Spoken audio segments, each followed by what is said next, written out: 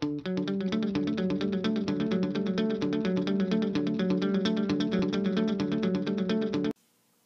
guys, today I'm going to do a quick review on Versace's Yellow Diamond.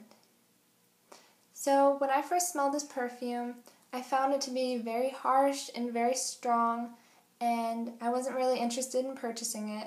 However, uh, shortly after that, someone gave me this as a gift, so I ended up trying it out and what I found about this fragrance is that it loses that harsh edge fairly quickly.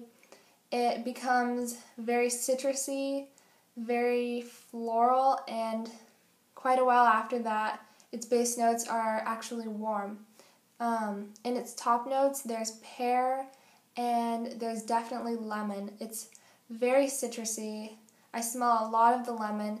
And then its heart notes are very floral. There's freesia and there's water lily. And that's when it becomes more sweet, more of a sweet fragrance.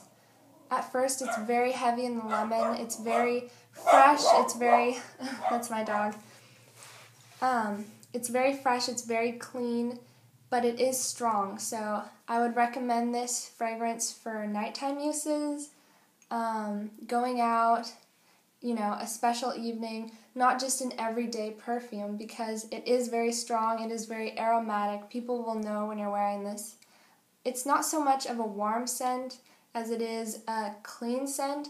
It's not very wintry, it's more of a summer smell or spring smell. Um, it's a unique scent, so not everyone will probably like this perfume. Um, I would definitely recommend trying this out if you're thinking of purchasing it first. So it's very unique, but it's very nice. Thank you.